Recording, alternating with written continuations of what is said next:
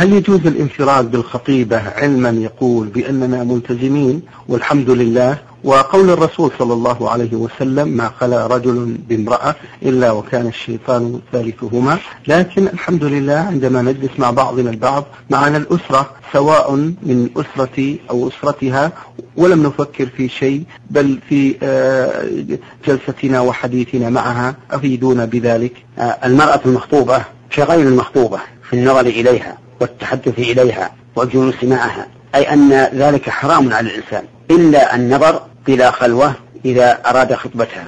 وإذا كان الرجل يريد أن يستمتع بالجلوس إلى مخطوبته والتحدث إليها فليعقد النكاح فإنه إذا عقد على امرأة حل له أن يتكلم معها وأن يخلو بها وأن يتمتع بالنظر إليها وحل له كل شيء يحل للزوج من زوجته. فأما أن ينفرد بالمخطوبة ويقول أنا ملتزم وهي ملتزمة فإن هذا من غرور الشيطان وخداعه لأن الإنسان مهما بلغ في العفة لا يخلو من مصاحبة الشيطان إذا إذا خلا بالمرأة لا سيما وأنها مخطوبته وأنه يعتقد أنه بعد أيام قلائل تحل له فإن الشيطان يجري من ابن آدم مجرى الدم وخلاصة القول أنه يحرم على الخاطب أن يتحدث مع مخطوبته في الهاتف أو يخلو بها في مكان أو يحملها في سيارته وحده أو تجلس معه ومع, أهله وهي كاشفة الوجه. نعم.